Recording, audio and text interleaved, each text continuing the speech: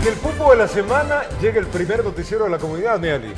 Así es, estábamos en este día miércoles, así que hay que poner toda la buena energía para que los días que faltan, jueves y viernes, y viernes ya feriado, bueno, un día, un día falta nomás. Miércoles y jueves. Póngale buena energía para que le vaya bien. Sí, claro, así que por favor en pantalla nuestro número de atención. Ese es el número de atención a la ciudadanía a través de todas las denuncias que ustedes tienen de lo que ocurre ahí en su barrio. Ya sabe cuál es, el 098-518-4393. El nuestro sí funciona, no como otros. Exacto, ese sí el funciona. nuestro sí es efectivo, funciona y funciona No hay como otros que está llama y llama y nada. Y nada, así que vecinos, gracias por estar acá. Vamos a contarles muchas obras que se han hecho ya en esta semana, arreglos importantes y también sus necesidades. Muy bien, vamos a empezar entonces ya con la información y les contamos que Pichincha registra una disminución en las atenciones por COVID-19 en las unidades de cuidados intensivos y en hospitalización.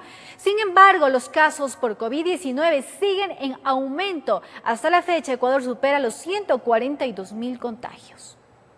Mayor número de pruebas y relajamiento de las medidas de bioseguridad son dos factores que influyen en el registro de contagios por COVID-19. En las últimas semanas, Pichincha registra una disminución en las atenciones hospitalarias. Sin embargo, se mantiene como la primera provincia que concentra más casos positivos. Hasta la fecha se contabilizan 42.651 contagiados.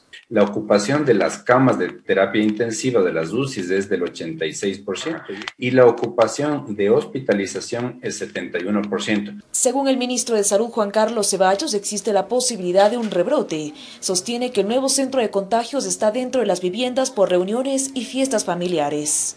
Y, pero el énfasis debe estar en la responsabilidad de cada individuo. Hay más indisciplina de las personas. Es obvio que va a haber más contagio, un contagio más rápido. En nuestro país los casos confirmados con pruebas PCR son 142.056 y la cifra de fallecidos 11.702, mientras que la capital supera los 39.000 contagios. La Secretaría de Salud del municipio sugiere recomendaciones para frenar la propagación del virus. Ve que el sistema sanitario tenga la capacidad para gestionar un posible aumento de los casos y que sea capaz de implementar medidas de vigilancia epidemiológica efectivas. Por el momento no hay nada más efectivo que seguir las medidas de bioseguridad para evitar un contagio, mientras el país avanza en la adquisición de una vacuna. Todas las farmacéuticas y también con la iniciativa COVAX que está liderada por la Organización Mundial de la Salud. Hay exigencias que son difíciles de cumplir, como por ejemplo que nosotros demos una cuota inicial. Esta cuota, asegura el ministro, es considerable y se buscarán los mecanismos o 320 por persona, porque son dos, en la mayoría de los casos son dos las vacunas. Vamos a vacunar a 10 millones de personas al inicio, eh, es un costo considerable. Informó Priscila Cadena. Les contamos que los moradores del barrio La Raya, al sur de Quito, denuncian una fuga de agua que lleva varias semanas generando malestar en el sector. Ellos solicitan su reparación de forma inmediata. La fuga de agua se encuentra ubicada exactamente sobre la calle Carapungo, en el barrio La Raya, al sur de la ciudad. Los vecinos denuncian que el desperdicio de líquido vital lleva varias semanas. Estamos casi como un mes, pero eso también afecta para nosotros. Tenemos acá también en, la, en la calle I, que también hay una fuga del alcantarillado que sale y, y la pestilencia. Es unos 15 días. Sí, no vienen a ayudarnos. Aseguran que han llamado a las autoridades competentes para su reparación. Sin embargo, no han tenido una respuesta positiva. Dicen que vienen, que vienen y no, no, no tenemos ninguna respuesta. Claro, está mal porque debería venir la empresa a arreglar, porque ya, ya están bastantes días que está yéndose el agua y es una pena que se vaya. Pues. Y es que el daño es un verdadero dolor de cabeza, pues les preocupa que la gran cantidad de agua que sale afecta a las casas aledañas, humedeciendo las paredes, además del daño que genera en la calzada. O sea, usted sabe que las aguas dañan toda la, la pavimentación. Eso es un desperdicio total, pues, y no vienen a hacer nada por el barrio. Por ello solicitan la reparación urgente. Se le pide a las autoridades que vengan a arreglar. Este tiene que componer de los de municipio. En Quito informó Adriana Rojas. Y sin duda para este problema una velita. No sean malitos, den arreglando esa fuga en la raya. Vean ustedes, nos vamos a encomendar a San Cuchito para que les ayude, por favor. Ven, ahí está. El... Vean cómo se ve el agua. Cómo se ve el agua. Esperemos que con esta llama purificadora, este mismo día, la purificación llegue a este barrio de la ciudad. ¡Qué bárbaro! Así que autoridades del agua potable, pero si van a arreglar, coordinen con la empresa de obras públicas para que de una vez no dejen dañado más de lo que ya está. Así que el pedido de nuestros vecinos. Vamos con Sofía Vintimilla, está en el Centro Comercial Granada. La Secretaría de Salud instaló brigadas médicas para atención preventiva y diagnósticos del COVID-19 en este sector. Sofía, buenos días, adelante. Roberto, amigos, que tengan un buen día. Son cuatro los centros comerciales del ahorro los que están involucrados en este proyecto del municipio de Quito que está coordinado por la Agencia Metropolitana de Control. Las autoridades señalan que en promedio son 60 las pruebas que realizan a diario y el objetivo es realizarlo a 450 comerciantes. Tenemos en cuenta que hoy en día es importantísimo señalarles, y Gato, luego él va a mostrarles en cámaras cómo están todas las imágenes. Les decía que es importantísimo señalar que el 100% de los comerciantes en su mayoría pretenden reactivarse y de allí que cada vez se incrementa el número de personas que están realizando esta prueba. Vamos a hablar entonces con las autoridades, el director de la Agencia Metropolitana de Comercio para que nos amplíe la información. Muy buenos días, eh, señor director. Primero el balance de las personas que ustedes realizan a diario la prueba, ¿cuántas de estas tienen eh, COVID positivo luego de las 48 horas obviamente de los resultados del hisopado? Un poco para que la ciudadanía sepa cómo va el tema de la propagación del coronavirus en estos eh, sectores. Muy buenos días con todos los televidentes. Bueno, en realidad el porcentaje es bastante bajo. Sí, hemos tenido muy mucho éxito con las pruebas COVID y con las brigadas que se están realizando en los centros comerciales. Es importante destacar que eh, se ha programado tres puntos para la toma de pruebas, sí, uno está en el norte, uno en el sur y uno en el centro. Particularmente en este centro comercial contamos eh, con tres brigadas, las cuales está dando atención a los señores comerciantes con el fin de que se precautele la salud tanto de los comerciantes como de la ciudadanía en general. Y esto veo que lo realizan en horas no laborales, puesto que en este momento el centro comercial, por ejemplo, está cerrado y siempre en espacios abiertos. Así es, los protocolos de la Secretaría de Salud es que siempre sean espacios abiertos, ventilados, para poder precautelar la salud de los comerciantes, de las personas que asisten a las pruebas y de los médicos. Hasta el momento, ¿cuántas pruebas se han realizado? Bueno, estamos tomando en promedio 60 pruebas diarias, están programadas para la semana alrededor de 450 y cabe destacar que las brigadas también se extenderán a lo largo de las, del, mes eh, de, que viene. De estas 60 pruebas diarias, ¿cuántas arrojan resultados positivos?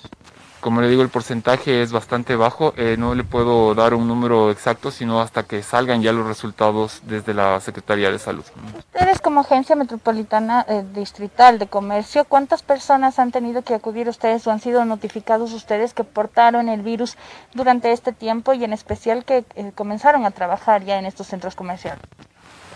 Dentro de la agencia, pues realmente no tengo conocimiento de quién haya sido portador del virus. Particularmente de la dirección de centros comerciales, pues puedo decir que todos hemos llevado los protocolos adecuados y nadie se ha contagiado. Le preguntaba esto porque es importante en sectores como San Roque, por ejemplo, el centro comercial del Tejar. Es penoso ver cómo hasta los eh, pasillos están siendo arrendados por comerciantes informales. Una, fuimos a hacer un recorrido, inclusive con la Secretaría de Seguridad, y ellos pudieron constatar que obviamente el aforo no se cumplía.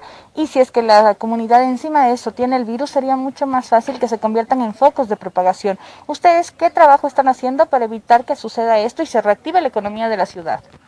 Realmente estamos trabajando en, inspecciones periódicas. El día martes estuvimos también en el Centro Comercial del Tejar, revisando cuestiones de cumplimiento de aforo, tanto como de bioseguridad. Gracias.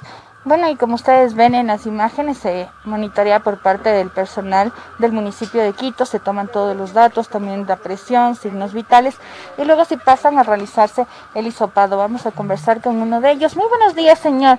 ¿Usted en qué centro comercial trabaja? En el Centro Comercial Nuevo Amanecer.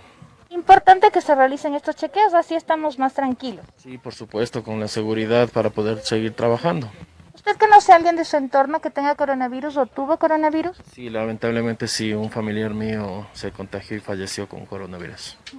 De allí la importancia de cuidarse. Muchas gracias. Bueno, ahí ven todos los protocolos que se siguen y como les decía, todo también está debidamente refrigerado y esterilizado en cuanto a los temas del uso también para que puedan llevarse todos esos resultados hacia la Secretaría de Salud y luego de eso, luego de 48 horas, se entregarán los resultados. Así amanece la capital en los centros comerciales del ahorro, así también se puede reactivar la economía y todas las personas que acudan a estos lugares van a tener la certeza de que todos los vendedores al menos están totalmente sanos y libres de coronavirus y así también da mucha calma a la capital. Y Gata le voy a pedir que nos muestre estas lindas imágenes desde la terraza del Centro Comercial Granada. Miren la capital, lo preciosa que se ve con ese cielo totalmente despejado y esas cúpulas de las iglesias y también toda la infraestructura riquísima del patrimonio cultural de la humanidad que tenemos. Roberto.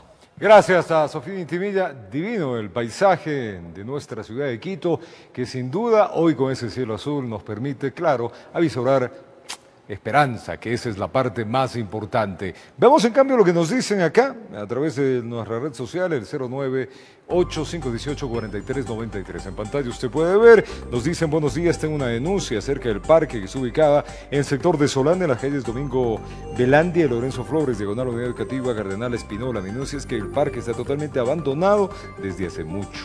Y es verdad, vean cómo está el parque condiciones realmente malas del parque, espacio público, la ayuda necesaria. Mire, claro, hace mucho rato, hace mucho rato que no han ido por allá. Buen día, tubería rota, calles Briseño y 10 de agosto. Ahí está, desde hace más de un mes. Desde hace más de un mes está esto así, autoridades del agua potable. Señores TVC, les invitamos a que nos visiten cómo se encuentra el parque de las Conchas de Azules está abandonado. No le dan mantenimiento ni los juegos didácticos están dañados. ¿Ven? Más parques, ¿ah? Al municipio hay que llamarles la atención con los parques. Hay un montón de parques que no, no están en buen estado. Están terribles, en el sur al menos, están realmente terribles. Buenos días, saludos de una persona de tercera edad. Mi nombre es María Eugenia. Le comento que desde hace un buen tiempo mi hijo fue a gestionar el cambio de tubería de la alcantarilla. No dan respuesta. Algunos señores bien toman fotos y se van. Allí unas fotos de cómo está anteriormente y cómo se está hundiendo la calle. Vean, cambio de tubería solicitan porque está hundiendo la calle. Así que por favor, si usted nos dice dónde es, mi querida María Eugenia, le vamos a ayudar encantada. Ah, ya nos mandó, encantados. Miren cómo está, ahí nos manda, pero no, no nos dice dónde. Si nos manda la dirección, María Eugenia, con todo gusto. ¿ah? Buenos días, TVC, mucho agradecemos publicar. Venía Galo Plaza Lazo, norte de Quito, el parter central, ciertos negocios han colocado su publicidad ocupando el espacio público. Vea esto. Uy, chicas, caramba, todo norte, ¿ah? Todo norte, vean esto, en la mitad, autoridades de control público, a esto hay que, claro, todo norte, hay que ponerle orden, vea, ahí está, todo norte, no se para que no se pierdan. Buenos días TVC, no sé si eso pueden pasar, eh, hay fecha, horario, en esta pandemia van a hacer farra, vean, gran baile, Autoridades, métanse en el Facebook, hay un montón de bailes de este fin de semana. Buenos días, nos pueden ayudar con la empresa eléctrica, ya tenemos problemas desde inicio de la pandemia. Alumbrado público, mal estado, organización vencedores de Pichinche, la Biloxi. Con los robos que hay, la delincuencia, sectores de la ciudad de Quito en muy mal estado en la luz de las calles. Organización Vencedores de Pichincha, sector de la Biloxi, por favor. Buenas tardes, miren, nos pueden ayudar. ¿Se acuerdan de esto? San Rafael, esto fue ayer. Sultán ayer, en el Triángulo de San Rafael. ¿Se acuerda? Bueno, inmediatamente acudieron. Y hay que mandar un abrazo al Javi también que nos envió fotos al municipio que han trabajado inmensamente una cantidad de arreglos que ayer solicitamos. Vean, arreglaron el problema del triángulo. Enhorabuena. Aquí nos están pidiendo que por favor ayudemos a encontrar a Lucky. Se perdió este sábado 26 de septiembre, escritor de Chiris de Río Coca. Aún le seguimos buscando. Cualquier información 099-811-6422. Oh, y ¿saben qué? Algo más, Sultana. Miren esto, es increíble. Esto circuló por todo lado el día de ayer. Por favor, 20 perros atrapados en una casa ubicada en Avenida General Enríquez, frente al estacionamiento del Centro Comercial Plaza del Valle, Triángulo de San Rafael. Esto corresponde al municipio de Rumiñahui. Atención, municipio de Rumiñahui. Todos están flacos, no tienen agua y uno de ellos murió, los otros se lo comieron. El tipo vive ahí y no permite la entrada a nadie. Cuando se toca la puerta no sale. Una chica que vive en el edificio de al lado ha denunciado este caso tres meses al municipio Urbanimal, a la policía y como siempre no sirven para nada. Pero el problema es que no es el municipio de Quito, pues, es el municipio de Rumiñahui, por eso no les atienden. Municipio Rumiñahui, ahí están los peludos. Miren ustedes, ahí están. Miren, ahí están los peludos, 20. Así que por favor, municipio de Rumiñahui, y si puede ayudar al municipio de Quito con un animal, enhorabuena. Esto es eh, en la ciudad satélite, que eh, cerquita, eh, allá en el Triángulo de San Rafael. Ven, ahí están los peludos. denuncian los vecinos. Ojalá tengamos respuesta y eco a esto. Así que, Ali, problemas con los peludos, ¿ah? Realmente lamentable ese caso. Esperamos que desde las autoridades se actúe de forma inmediata. No puede ser este maltrato, porque es un maltrato a 20 animalitos que viven en esas condiciones. Les contamos ahora que los moradores del sector del Batán Alto, en el norte de Quito, solicitan a las autoridades competentes el mantenimiento de uno de los parques de la zona. Varios vecinos temen que el descuido del espacio provoque la proliferación de roedores y con ello también enfermedades. El parque está ubicado sobre la calle de los Motilones. Según el testimonio de la comunidad, meses antes del inicio de la pandemia el sitio no recibía mantenimiento, provocando que los vecinos y deportistas no cuenten con un espacio para efectuar actividades recreativas. No se puede uno acercar porque la hierba está muy alta, no hay cuidado. No pueden jugar ni usar nada.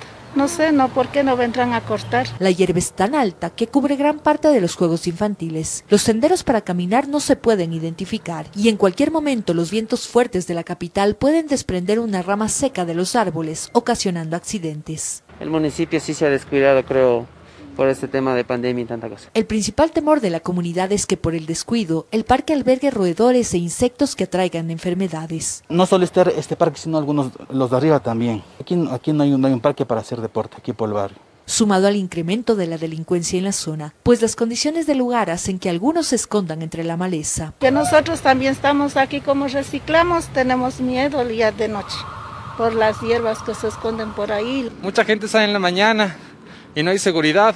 Esperan pronto las autoridades escuchen sus pedidos y se dé solución al problema del sector del Batán Alto ubicado en el norte de la capital, informó Sofía Vintimilla.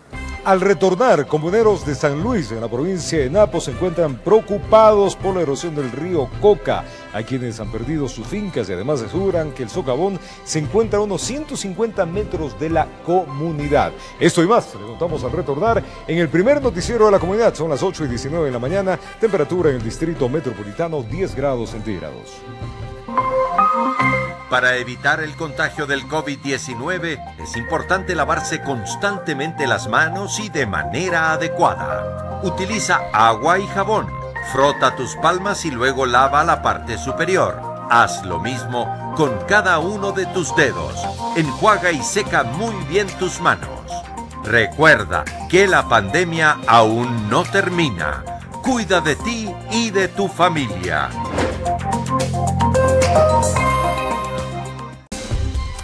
Siempre es un gusto trabajar para ustedes. Este es el primer noticiero de la comunidad. Inquietudes, denuncias, todo el acercamiento que vamos a tener en beneficio de crear una estructura distinta, ejes transversales para que esta ciudad crezca y sea atendida adecuadamente. En pantalla usted va a poder ver nuestro número de contacto, el WhatsApp, el 098-518-4393. Anote ese número, póngalo como emergencia. Cuando tiene algún problema, detecta alguna anomalía dentro de su dentro de su parque o dentro de su calle. Estamos para servirle. Y por eso Adriana Rojas se encuentra en el Parque Marianita de Jesús. Esto es en el sur de Quito, por si acaso. Nuestros vecinos solicitan, moradores de ahí, el mantenimiento de este espacio de recreación que es necesario. Adriana, con romería incluida.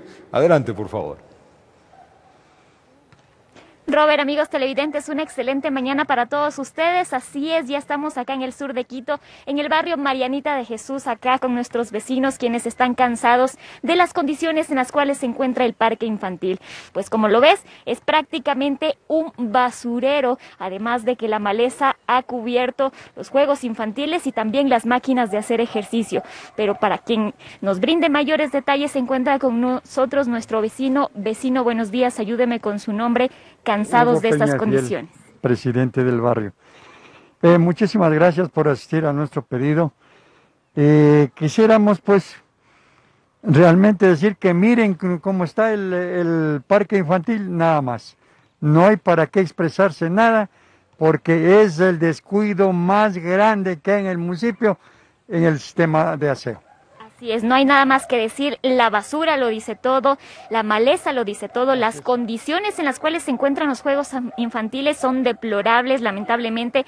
También en la esquina de este parque han hecho prácticamente una vivienda a los indígenas. Ahí están, al fondo, debajo de los árboles, hay dos personas que están durmiendo, descansando hasta esta hora. Pero vamos por partes. Desde febrero del 2015 hemos tenido el agrado de pedirle a la empresa pública metropolitana de aseo por lo menos unos basureros viejos de plástico y no han llegado hasta la fecha de hoy. Hemos reiterado el pedido a la Dirección de Parques y Jardines de la zona de Eloy Alfaro para que nos den limpiando desde el 20 de, este, 20 de marzo de este año, pero no hemos tenido ni por lo menos una respuesta. A la abogada Justín García, administradora de la zona sur Eloy Alfaro, le he presentado la queja de todo lo que nos está faltando. Incluso de la jauría de perros callejeros que andan por aquí, que nos tienen ya cansados y no tenemos qué hacer. De los contenedores de basura que no llegó jamás y que tenemos un grave problema en la Antonio Játiva y, Multi. Hay unas gradas que el un costado se arregló bien y el otro le dejaron ahí. Es puro hierba, es puro ratonera, e insectos y basura, por consecuentemente, porque también hay que decir que eh, nuestra gente también es bien descuidada, bien indisciplinada. Así es, vecino, indisciplinada porque lamentablemente el olor que se puede percibir aquí en este parque vecina es sumamente un poquito asqueroso, por decirlo así. Es muy, porque utilizan este parque como inodoro prácticamente. Así es, señorita, si estamos cansados de, de tanto desorden, tanta indisciplina, tanta suciedad. Usted me decía que no era capaz de mandarle a sus nietitos a jugar porque lamentablemente el parque no brinda las condiciones. El parque no brinda ninguna seguridad y ningún aseo, ninguna. Eso solicitamos, por favor, primero una desinfectación de este parque. Es lo primerito que deben hacer para después que comiencen, ojalá, Así es, vecina. Los graderíos también están prácticamente perdiéndose entre la maleza, las peleas también entre las personas indigentes. Aquí es un problema también, vecina. Sí, es, es, mucho problema porque incluso en las madrugadas juegan boli, me imagino que las, las personas indigentes no entran y se agreden, se hieren. Entonces no es justo. Mira, ahora por el preciso momento están ahí las personas indigentes. Esas personas indigentes se, se ponen al IVA, después son los problemas aquí. Y lo por Dios que le pido al señor alcalde que por favor nos ayude con este parque. Es, él, es la ciudadela más abandonada y no es justo que nos tenga abandonados. No, no nos podemos atraer a nuestros, a nuestros hijos ni a nuestros nietos porque el parque es es un basurero. Lo que yo quisiera, por favor, a los señores de los jardines y parques que nos vengan a, a limpiar y nos pongan fumigando para que así los niños tengan su recreación. Y también, por favor, les pedimos de los señores municipios, ya hicimos un pedido también de lo que, que por favor nos cambien los juegos de los niños. Mire cómo están los juegos. Y o sea, nuestros niños de, aquí, de, nuestra ciudadela, no pueden estar así con esos juegos. Muchísimas gracias, así es. Es el pedido desesperado de nuestros moradores del barrio Marianitas de Jesús, acá en el sur de la capital. Así que, Robert, tú ya lo has visto, amigos televidentes, este es el basurero que tienen como parque vecinos. Basurero es poco, realmente qué estado de este sitio de recreación. Mi querida Adriana Manners, un abrazo a los vecinos. Vamos a implorar a San Cuchito con la vela mágica. Tú con tus romerías, yo con mi vela, para ver si hoy día o en transcurso de estos días les atienden. Es increíble cómo está. Gracias, Adriana Rojas. Qué pena ver ese parque en ese estado, sucio, Ahí hay gente indigente, gente que, está, eh, que son de condición de calle, durmiendo, genera mal aspecto, hay mal olor, eh, hierbas, los juegos ya no existen, las bancas tampoco. Todo esto es la triste realidad de este sitio. Así que invocamos a la sensibilidad de San Cuchito, a la sensibilidad de los amigos, que yo sé que nos están viendo del municipio, a ustedes con esta vela, vela milagrosa, que por favor haga lo necesario que influya en ustedes para que les dé mejores días a este sector. Trabajamos en beneficio de Quito y exponemos estos detalles que para mucha gente debe ser muy poquito, pero para estos vecinos es muy, pero muy grande. Esperemos la ayuda y la intervención inmediata. Ahora les contamos que tras la denuncia ciudadana de una fuga de agua emitida en nuestro noticiero de TVC en la comunidad, la empresa metropolitana de agua potable informó que se realizó la reparación de la tubería y la calzada en el sector El Triángulo, esto en la avenida Iraló e Isla Española. Y 39 barrios del sector del Valle de Cumbayá sufrirán el corte en el servicio de agua potable este viernes 9 y sábado 10 de octubre. La suspensión de servicio se debe al montaje de un tubo alimentador en la central hidroeléctrica recuperadora. Desde las 18 horas de este viernes 9 de octubre, el servicio de agua potable para los sectores de Cumbayá, Miravalle y Tanda sufrirá el corte del abastecimiento de líquido vital, debido al montaje del tubo alimentador del flujo principal a los inyectores de la central hidroeléctrica recuperadora, ubicada en el sector de Paluguillo, perteneciente al sistema integrado de Papayacta. Así lo informó la empresa pública metropolitana de agua potable y saneamiento EMAPS. Este trabajo nos va a permitir que la empresa genere nuevamente energía eléctrica a través de la recuperadora, es decir, 14.6 megavatios. Según las autoridades, alrededor de 100 funcionarios trabajarán en una jornada continua para recuperar el servicio lo más pronto posible. Se prevé que la suspensión tenga un lapso de 24 a 35 horas. Eh, nosotros como Agua de Quito hemos organizado iniciar los trabajos a partir de las 04 horas de la madrugada del 9 de octubre y se terminarán estos trabajos el día 10 de octubre. Desde la entidad municipal se recordó a la ciudadanía que estas actividades son para el bienestar de los quiteños y cuidar la salud de los mismos. Además, se solicitó a los moradores de los barrios afectados abastecerse de líquido vital suficiente para cubrir sus necesidades durante el corte. Informó Mauricio Sánchez.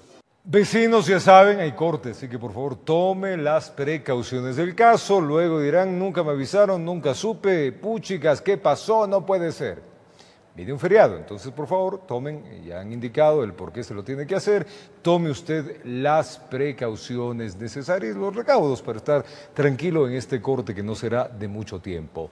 Cerca de 100.000 metros cúbicos de lixiviados están almacenados en el relleno sanitario de El Inga. Los nuevos representantes de este sitio esperan la próxima semana ya iniciar con el proceso de contratación de la empresa que ésta deberá tratar los líquidos que desprenden de la basura. Le contamos. A mediados de este año, el relleno sanitario del Inga fue declarado en emergencia por la falta de procesamiento de los líquidos desprendidos de la basura, denominados lixiviados. En aquel tiempo, la aspiración de las autoridades era que esta alerta acelere el proceso de adjudicación de la empresa encargada del trabajo. Tiene que hacerlo una empresa especializada que garanticen que pueden hacer el trabajo y en un tiempo determinado. Sin embargo, han transcurrido varios meses y aún estos líquidos no son tratados. Los lixiviados son aproximadamente 100.000 metros cúbicos, que son los que se han quedado ahí. Están represados en cinco piscinas. De acuerdo a los representantes de MGIRS, la próxima semana iniciará el proceso de adjudicación de la empresa que procese estos líquidos. Tenemos que tomar en cuenta que las normas legales y la ley te exige ciertos y determinados tiempos para cumplir eh, dentro de los procesos contractuales. La principal preocupación de varios ediles y comunidades es que la acumulación provoque daños ambientales, pues al parecer existen algunas denuncias al respecto. He recibido denuncias de, vecinos de, sobre el posible derrame del, del lixiviados. Temor que fue descartado por la gerente de MGIRS. No implica que exista una afectación de un daño ambiental, porque nosotros tenemos barreras de seguridad en las piscinas y obviamente el lixiviado siempre está recirculando, entonces no existe esa posibilidad. En tanto, avanza la construcción del cubeto número 10, que espera prolongar al menos siete meses más la vida útil del relleno sanitario para que así en el 2021 el Cabildo anuncie cuál será el nuevo espacio o método para procesar las cerca de 2.200 toneladas de desechos diarios que produce la capital, informó Sofía Vintimilla. Nos vamos a un corte comercial, amigos televidentes. Al retornar les contamos que el huracán Delta ya tocó tierra en México hace pocas horas. Al menos 40 mil turistas y también eh, habitantes tuvieron que evacuar. Ya regresamos con esta información y más. Ahora protegerte del COVID-19 depende de tus acciones. Es importante mantener distanciamiento social en todos los lugares públicos. Cuida que estés alejado dos metros de otras personas y no realices reuniones presenciales si no es necesario. Recuerda que la pandemia aún no termina. Cuida de ti y de tu familia. Comuneros de San Luis, en la provincia de Napo, se encuentran realmente preocupados por la erosión del río Coca que no se detiene. Hay quienes han perdido ya fincas, además aseguran que este socavón se encuentra apenas a 150 metros de la comunidad. Preste atención. En la comunidad de San Luis hay preocupación. El socavamiento producto de la agresiva erosión del río Coca pone en riesgo a sus pobladores. Edwin Aguirre cuenta que con el pasar de los días pierde de a poco su finca, ubicada en ese tramo. Las hectáreas no se volverán a recuperar, ni la tranquilidad dice. La extensión de la finca era de 43 hectáreas. Con esto que ha venido derrumbándose, derrumbándose y con la erosión se completó. Ahora habrá una afectación de unas 7 hectáreas. Y es que les quita el sueño, porque la tierra se carcome de a poco, sin posibilidad de detenerla. El socavón está a pocos metros del pueblo, donde habitan unas 120 personas. Está a 150 metros de la, de la población. Ese es el, el problema que tenemos, o sea, el más peligroso. Y de ahí la erosión del río sigue su curso. Les preocupa además la falta de ayuda, dicen, por parte de las autoridades, pues lo más probable es que próximamente se queden sin agua, pues los tanques que abastecen de líquido al pueblo se encuentran en riesgo. Entonces, esos tanques de agua son los que, le digo, la variante que, nos ofrecieron hacerlo para no quedarnos sin agua, pero hasta el día de hoy, que ya son nueve días, no han regresado a, a ver la forma de hacer. Pero si no hay solución, y en el caso de presentarse más derrumbes, los pobladores tendrán que abandonar la zona. Tenemos que salir. Y es que el pasado 7 de abril la Fuerza de la Naturaleza destruyó parte de los oleoductos y del poliducto, dejando al país casi un mes completo sin producción petrolera, problema que afortunadamente fue solucionado. Sin embargo, la erosión agresiva avanza destruyendo las zonas laterales del río Coca, además poniendo en riesgo la vía Quito-Lago Agrio y a más de un centenar de pobladores que viven en esta zona. Informó Marilyn Jaramillo. Una placa de reconocimiento recibieron los dos agentes de la Policía Nacional que se enfrentaron a bala contra delincuentes por defender a una joven en la ciudadela La Garzota, esto al norte de Guayaquil. La víctima los visitó en el hospital de la institución donde les mostró su gratitud.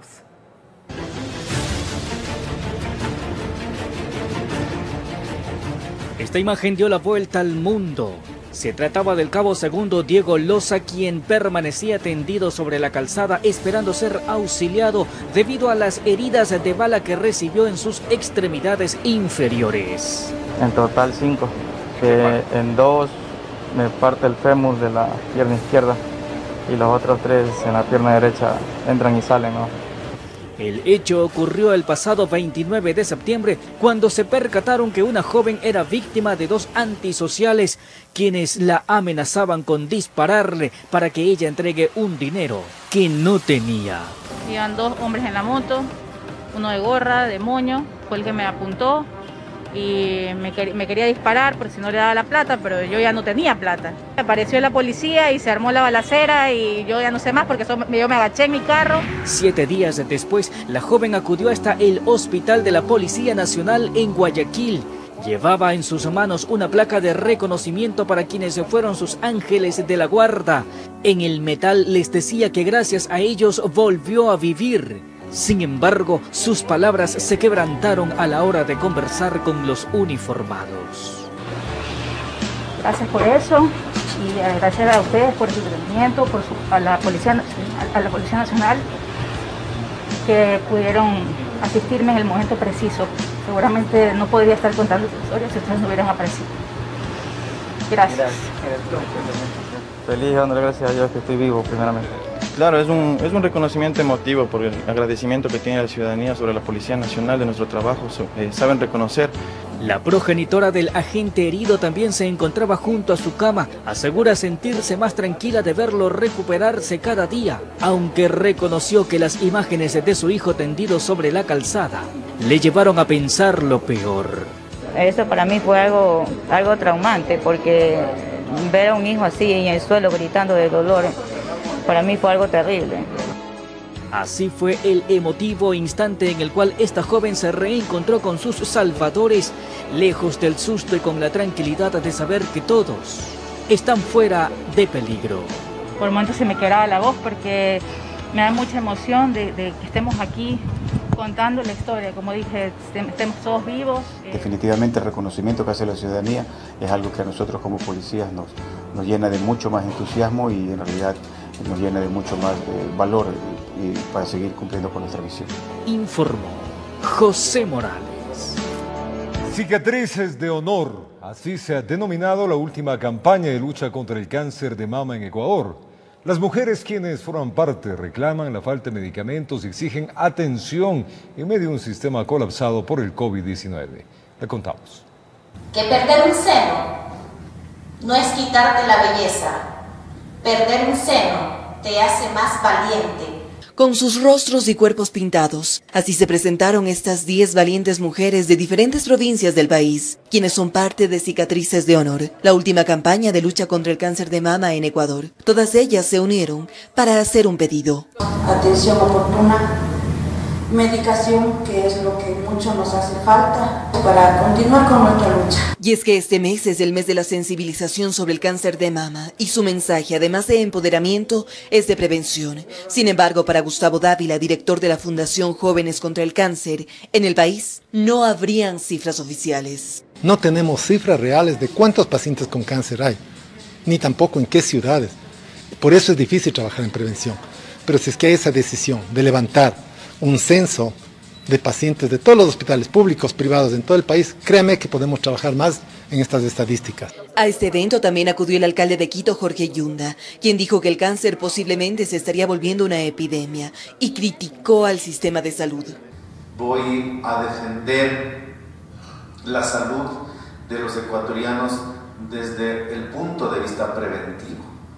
Una prevención, promoción y educación en salud que lamentablemente durante muchas décadas no se han destinado recursos para esta loable función. A decir de la entidad, el 81% de las mujeres con cáncer de mama no tienen carnet de discapacidad, informó Ismenia Solórzano. Nos vamos a un corte comercial, pero ya regresamos con más información. Les vamos a contar que el incremento del IVA al 15% formaría parte del programa económico con el Fondo Monetario Internacional. Los detalles al volver. No olvides que el uso de la mascarilla es obligatorio. Antes de colocarte o retirarte la misma, debes lavarte muy bien las manos. Cuida que tape perfectamente tu nariz y boca. No la toques ni la bajes al cuello. Retírala desde los elásticos para que no contamines tus manos. Recuerda que la pandemia aún no termina. Cuida de ti y de tu familia. Con más información y les contamos que una reforma tributaria ambiciosa y paulatina forma parte de la Carta de Intención de Ecuador con el Fondo Monetario Internacional. En este paquete se buscaría incrementar el IVA al 15% para el año 2022. El incremento en los ingresos fiscales en al menos 2 mil millones de dólares para el año 2022 es una de las metas del programa que Ecuador mantiene con el Fondo Monetario Internacional. ¿Cómo alcanzar esto? La sugerencia es a través de una reforma tributaria que contenga un incremento al impuesto del valor agregado de 3 puntos porcentuales, es decir, del 12 al 15%. El documento del multilateral señala que se espera que la reforma del IVA sea progresiva, teniendo un menor efecto en los hogares de menos ingresos, porque una gran fracción de los bienes consumidos por estos hogares permanecerán exentos del IVA. También se sugiere reducir las exenciones de este impuesto a las universidades y eliminar la devolución del IVA a los adultos mayores. Además, se considera la creación de otros impuestos que serían complementados con medidas para reducir el riesgo de incumplimientos. Por ejemplo, la creación de una gran oficina del contribuyente, que sea responsable de todas las funciones de la administración tributaria. La expectativa del programa es que estas reformas se implementen para el año 2022, por lo cual la aspiración es que el proyecto de ley sea entregado a la Asamblea en septiembre de 2021, es decir, quedará en manos del próximo gobierno la construcción de este paquete tributario, pues este régimen adelantó que solo dejará un borrador. Bajo la lupa de los expertos, uno de ellos, el economista Pablo Lucio Paredes, la propuesta del aumento del IVA solamente sería efectiva si es que va de la mano con la eliminación de otros impuestos, no con la creación de más. Si es para reemplazar otros impuestos, sí podría ser porque probablemente el IVA es un mejor impuesto que el ISD o los aranceles o otras cosas. Además, al igual que varios gremios empresariales, critica que el programa no sea más radical en otros aspectos y reformas estructurales que no se ve una reducción radical del gasto público, es decir, todavía dentro de dos, tres, cuatro, cinco años el gasto público va a seguir alrededor del 33, 34% del PIB, lo cual es elevadísimo. Esto haciendo referencia al tamaño del Estado, pues en este sentido el programa propone un ajuste de 3 mil millones de dólares, pero esto de forma paulatina hasta 2025, informó Carolina Basante.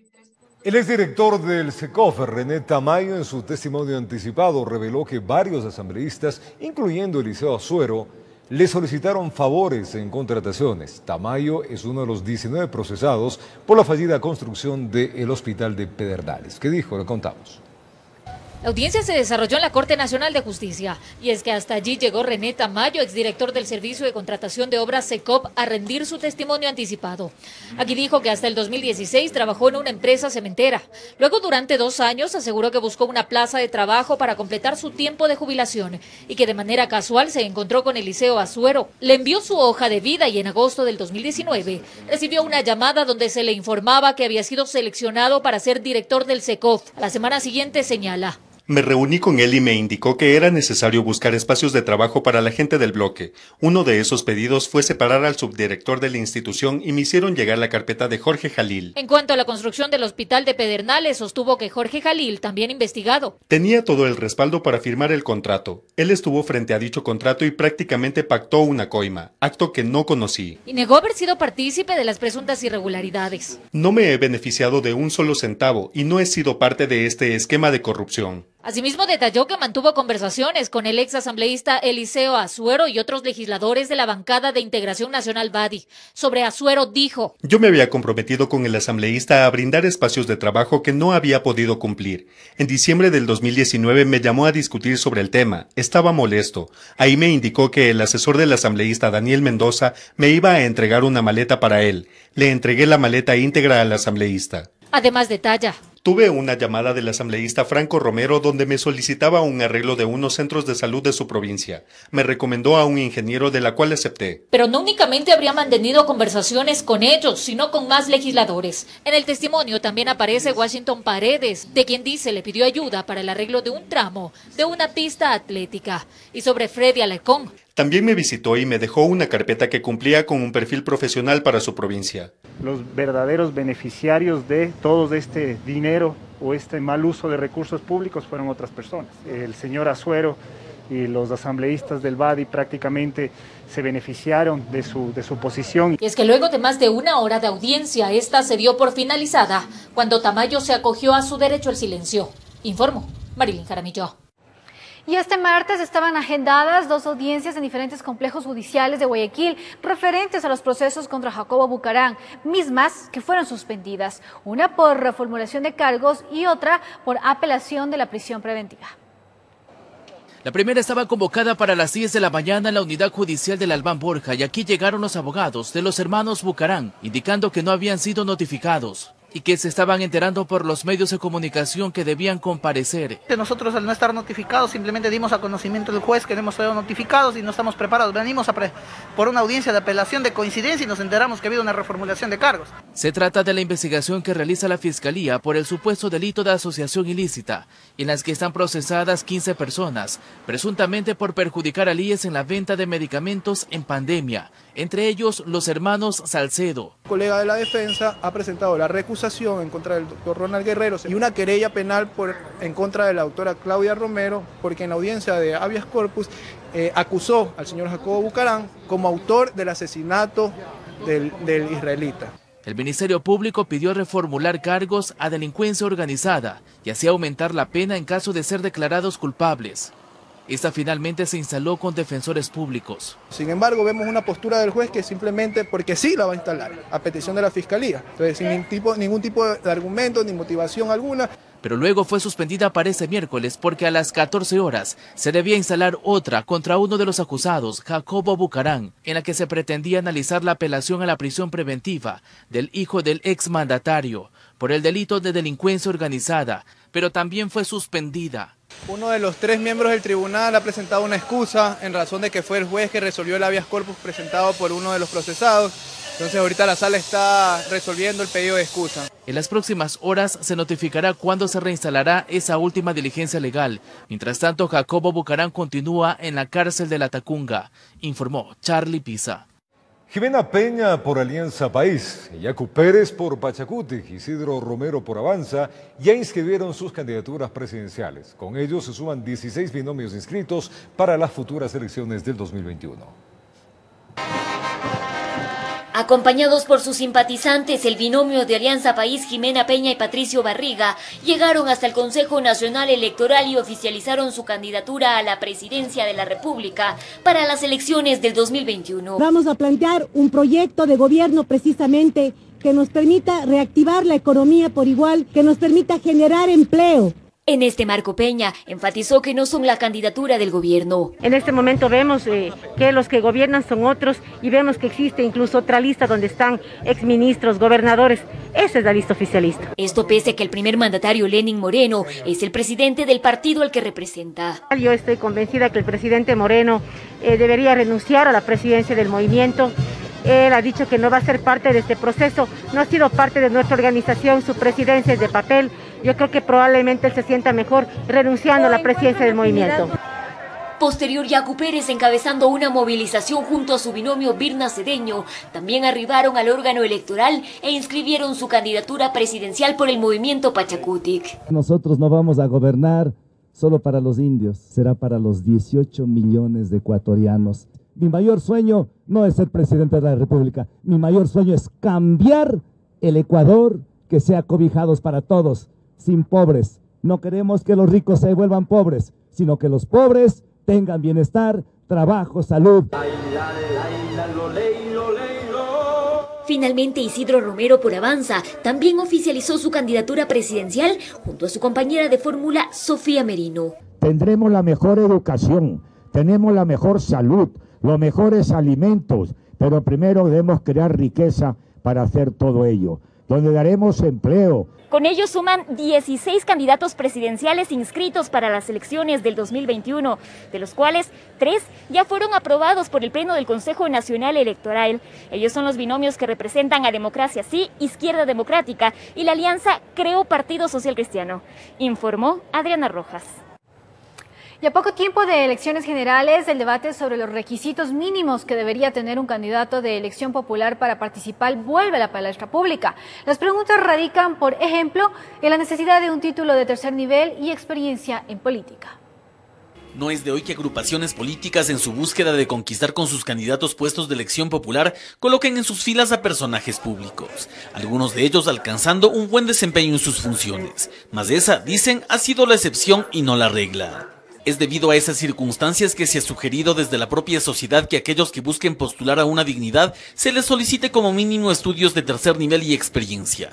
¿Pero eso es posible? Con una constituyente usted podría, digamos, modificar todo este régimen de requisitos, pero siempre va usted a tener ese riesgo de que una corte constitucional le diga luego que eso es regresivo de derecho. Aunque ni los analistas comparten que quienes estén faltos de preparación puedan postular a un cargo público de elección popular, la ley es clara y además de ello en Ecuador hasta la Corte Constitucional se ha pronunciado ante ello. La Corte lo que le ha dicho es no se puede imponer requisitos de exigencia de años de experiencia y de título profesional que eh, implican retroceso en el ejercicio de los derechos políticos, como es el caso del derecho a ser elegido. Si resulta imposible que por ley se pueda exigir que candidatos sin preparación profesional puedan llegar a la Asamblea Nacional, Presidencia de la República, una concejalía, prefectura o alcaldía, entonces, ¿en quién podría estar que los mismos no logren ejercer esas funciones? Allí más bien hay que fijarse en la calidad de los partidos políticos, lo que significaría si es que hubiera calidad, y eso no ocurre en el Ecuador, la calidad de sus representantes. Pero no todo puede estar mal en torno a los aspirantes a ejercer las dignidades. Según el experto, esto no tiene ni siquiera que ver con un tema de preparación, sino de representación. Una persona que puede incluso ser analfabeta puede ser muchísimo más representante en términos de la gente a la que convoca que una persona letrada que tiene títulos. En el país las ecuatorianas y ecuatorianos en goce de sus derechos políticos pueden elegir y ser elegidos. Para el cargo de presidente de la República el único requisito es no tener menos de 35 años de edad. En cambio para la dignidad de asambleísta la edad para postular es 18 años. Informó Javier Rosero. Nos vamos ya. Un abrazo para todos ustedes, amigos televidentes. Pónganle buena energía y nos vemos el día de mañana. Y como siempre, invitarles esta noche, 7 en punto, Televisión Central de Noticias. Vivan un día a la vez. Que pasen bien. Abracito. Chao, chao.